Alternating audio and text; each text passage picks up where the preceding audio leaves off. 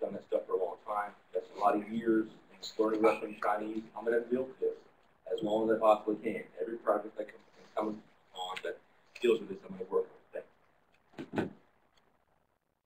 And I did IR theory stuff in grad school, but not, haven't really kept up with literature.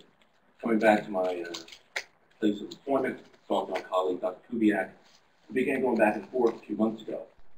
I was studying Russian-Chinese strategic cooperation, interaction, military sales, and trying to figure out how, how would you know when the regime would kind of sell itself out in terms of its own security? And what would neoliberal institutionalism say about that? What would realism say about that? And helping me use IR theory to understand that. And we finally saw the call for papers. Uh, Chuck Bartles sent me and said, hey, you see this conference coming up? Jeff, this is it. We need to kind of put our heads together and look at the theoretical dimension to this, the theory of IR theory can add insight into what's going on between Russia and China at strategic level, and at the same point, uh, this case study can inform theory. So that's the, the genesis of why we're here. I think it's clear to everyone in the room here that since 1992, China and Russia have begun to move closer together. In the wake of the Tiananmen incident of 1989, you had a arms embargo by the U.S. and by Europe against China, and China looked for arm, arms procurement from the outside world, and Russia was more than happy to oblige. It was one of its components of its industrial production that did not plummet drastically as other parts did, and that became the basis for their, their initial cooperation. Uh, if you jump through to today, you'll see that recent pronouncements are discussing an even closer degree of cooperation. And we have bantered about everything from uh, partnership all the way through alliance with a question mark. How far will this go? If there is an emerging strategic alliance, we need to identify it. There are significant security implications for the United States, for United States forces and our allies, based on the Russia-China relationship. How do we know how far this will go? How do we know uh, if they will end up developing an alliance? Will the current trajectory persist? These are all questions that have weight for strategic considerations. Again, I don't think this audience, any of this stuff is new. Uh, we just decided we wanted to kind of run it over very quickly, talk about some of the, the milestones that occurred in Russian-Chinese cooperation, uh, which goes back to 1992 when Yeltsin visits China, where they signed a non-aggression pact and begin some military technical cooperation. So, strategic, maybe not so much. There's some interaction, not at the expense of any third-party state. 93, signed a five-year defense cooperation agreement. Jump ahead 96, 97, Yeltsin, Jiang Zemin, in, begin discussing constructive partnership. Now you see the evolution of this relationship to uh, actually have this kind of concept of partnership, what that implies. Uh, Evgeny Primakov, when he became foreign minister, began to encourage a Russo-Chinese strategic partnership. So we go from uh, constructive to strategic. And I have argued in a book I have coming out with Nikolas Gvosdev that the NATO operation in Kosovo in March of 1999 had a very serious effect on both Chinese and Russian thinking of the U.S., of the international system. Uh, and as evidence of that, Yeltsin goes to Beijing in December of 99, so in the wake of this, and gets a little drunk and starts screaming and bantering about Russia being a nuclear power.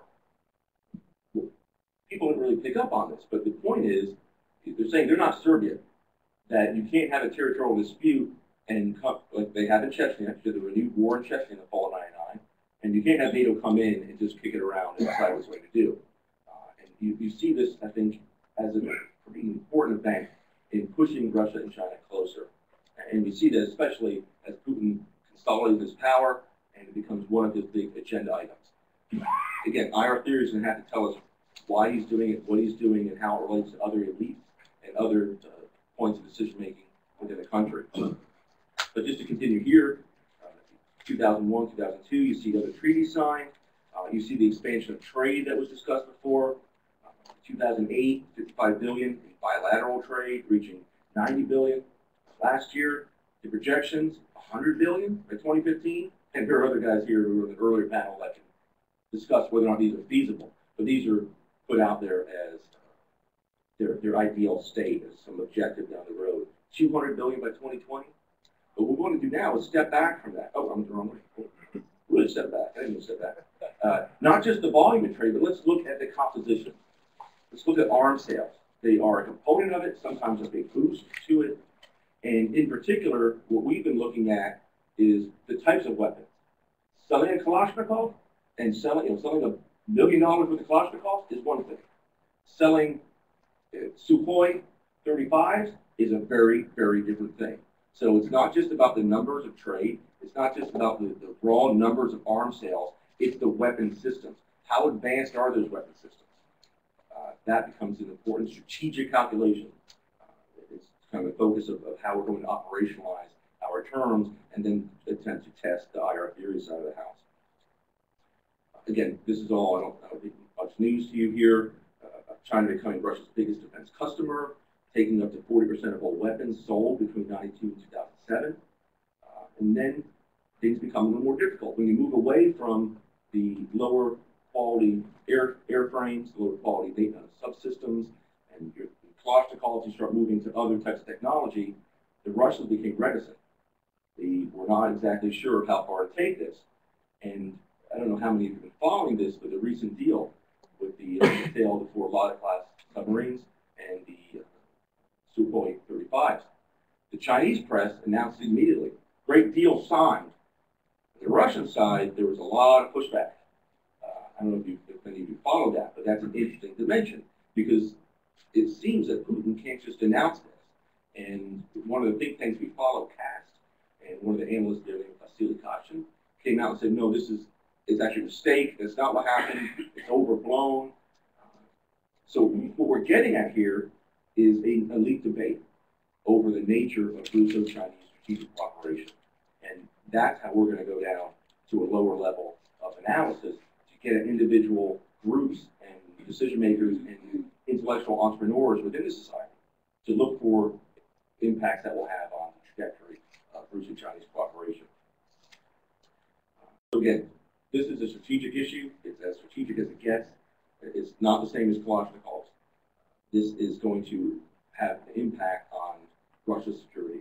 And the weapons being sold to China will have an impact on our posture in the Asia Pacific. Again, I'm sure you've seen some of these quotes. Uh, General Wang Haiyun coming out saying the time's right for front or a quasi-alliance. So you see the evolution in this language from 92 to today uh, President Xi Jinping, uh, pointing to Russo-Chinese cooperation as one of the most important priorities for his leadership. So what we're going to do now is turn it over to my colleague, Dr. Kubiak, because it's IR theory that can provide us insights into the strategic calculations made by states and going inside the states of individual actors. And then I'll come back at the end and, round that out. If to seated. I think, I think Dr. Marsh is overselling my portion here. Don't be confused. he is the mission, and I, as the military would say, I'm just a force multiplier. I'm, I'm here to bring uh, a little color, I guess, to uh, to the research project. Um, so increasingly, this the relationship between Russia and China looks more and more like balancing. Looks more and more like what a uh, international relations realist uh, at the structural level would say is is, uh, is balancing. They've had to most of the international realists, uh, international relations realists have had to add other uh, variables, intervening variables to explain it. You have to call it soft balancing because it's not really hard balancing as, as, as uh, they're. Um, they've had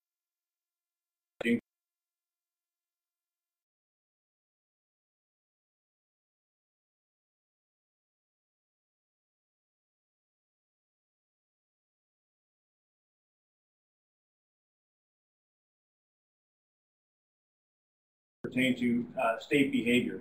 Uh, and at the macro level within the state, uh, at the generation of grand strategy. So as was uh, mentioned this morning by one of the panelists, uh, Brad mentioned it, we, we, have to open the box. In order to understand state behavior, even even the neo-realist, the, the, classical, or the, uh, sorry, the neo-realist, the structural realist, understand that the crucial variables that determine state behavior actually reside inside the box. One of those being threat perception for even those uh, uh, very classic neo-realist as, uh, as uh, Stephen Walt.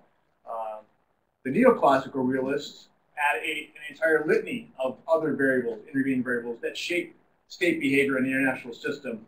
Um, state coherence, elite consensus, societal coherence, strategic culture, all these things impact how a state perceives its threats uh, and how it behaves with, uh, with regards to other actors in the international system. uh, which we see, but uh, we don't think the Sinophile uh, camp is as powerful or monolithic as, as he portends for it to be. Uh, Marlene Laruelle came out with a piece not too long ago in the same volume with Stephen Blank, where uh, she did a, a very good job. She went down with the think tanks, different policy positions being put forward in journals and newspapers. Uh, and, and I love her dearly. She's a good friend, but it's not systematic. It's not as systematic as what we're going for. We want something more systematic and comprehensive uh, than what she's done, and we're going to use hers as a launching point. Uh, that's what I mean by black specificity. Uh, Stephen Blank, uh, he's, he's a great addition in that volume as well, talking about the nature of that, that relationship, talking about the suspicion, suspicion, the rivalry that's intrinsic in there, and uh, he quotes from our esteemed colleague on the back row, Jacob Kipp, where he says, China as Russia's unnamed strategic threat. And so this is there, and as I finished my book two books ago, uh, where I looked at elite narratives on issues of political and economic reform in Russia and China. Uh, it was very clear to me that there's differences of opinion, and that's what we're trying to get at here is on an issue of foreign policy and Russia's alignment with China or balancing with China. What are these elite narratives? And, and then if, can we see if some are on the rise or some um, diminishing? So our approach to this, and let me kind of interject here, uh, we applied for a grant to conduct field work in Russia on this, to meet with the different think tanks, uh, get some other primary source materials and so forth. Uh, DOD does not want to pay for us to, uh, to do this, so of course we need outside uh, grant to do that. Uh, and we're both coming off of books, so having written these books, we're looking at kind of a new research program to get involved in, and so this is kind of the preliminary stage for us, so we do appreciate your feedback. Uh, so again, our approach is we're going to look at Sino-Russian relations alone, not juxtaposed to westernizers or, or some other way, but focus specifically on this relationship and look at the, the myriad possibilities that exist in terms of Russian attitudes towards uh, China. Uh, they, want to look at the influence of relevant groups, so groups like CAST, uh, the military, other think tanks, Carnegie Center, for instance.